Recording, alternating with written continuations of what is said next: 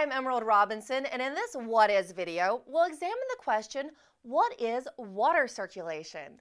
In nature, water circulation is the mixing of layers found in a body of water.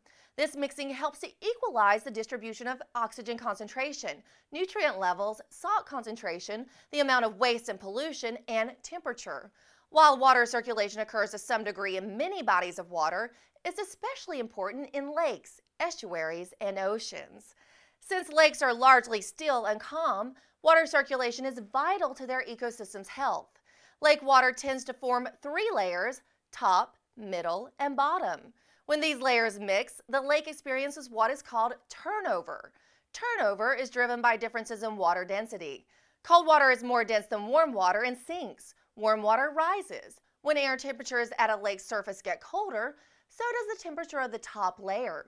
This layer becomes more dense and sinks, forcing other layers to rise and mix.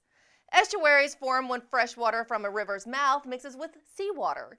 Salty water is less dense than fresh water and forms a layer at the surface of an estuary. Since different kinds of organisms can live in different amounts of salt water, water circulation is crucial in an estuary ecosystem. Winds, tides, rainfall, and even storms play vital roles in the rate of an estuary's water circulation. Water circulation in oceans is called thermohaline circulation, circulation driven by both temperature and salt concentration. Thermohaline circulation occurs when water carried by currents flowing from the equator to the poles becomes cool and sinks, flowing deep below the surface to refill the ocean's basins, then rising back towards the surface as it becomes warmer and saltier.